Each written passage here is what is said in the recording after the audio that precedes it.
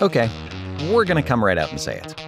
We're your electric utility, and we want you to go all electric. But we have a pretty good reason for asking you to switch from gas to electrons. It can save you money, it's healthier, and it's safer. But the most important reason we want you to go electric is for the planet. Here in Sacramento, we care about our environment and are committed to a low carbon future. That's why SMUD, Sacramento's community owned, not for profit electric company, has adopted an ambitious goal to eliminate carbon emissions by 2030. Already, about half of our power comes from non carbon emitting sources, such as hydro, solar, wind, biomass, and geothermal. Thanks to these clean energy sources, electric power only accounts for a small portion of our state's greenhouse gas emissions.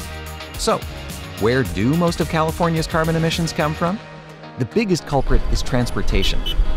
The next largest source of carbon pollution is from industries such as oil refineries, cement plants, and large manufacturing. The third biggest source of pollution?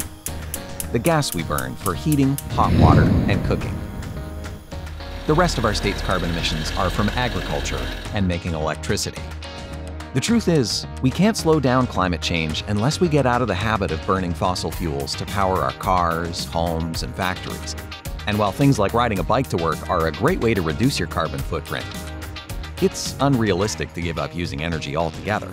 The good news is, there are many new alternatives to using gas power, and they usually come with a few extra perks as well.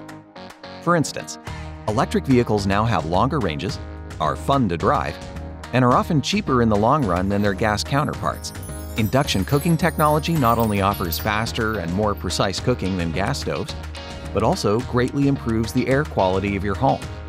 In fact, a home with all electric appliances saves 2.5 metric tons of carbon a year.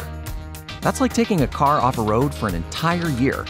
Even better, new homes without gas lines are safer to live in and less expensive to build. To find out how you can be a part of our clean electric future, visit smud.org/go electric.